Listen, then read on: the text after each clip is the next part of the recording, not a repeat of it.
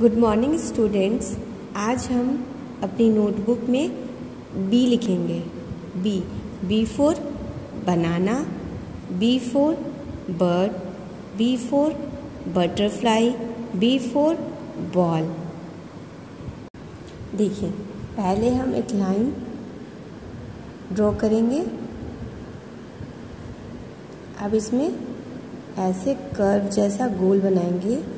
फिर एक और गोल। ये क्या बन गया? B B for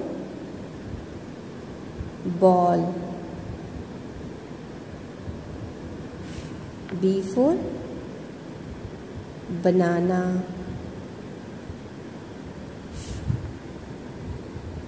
B for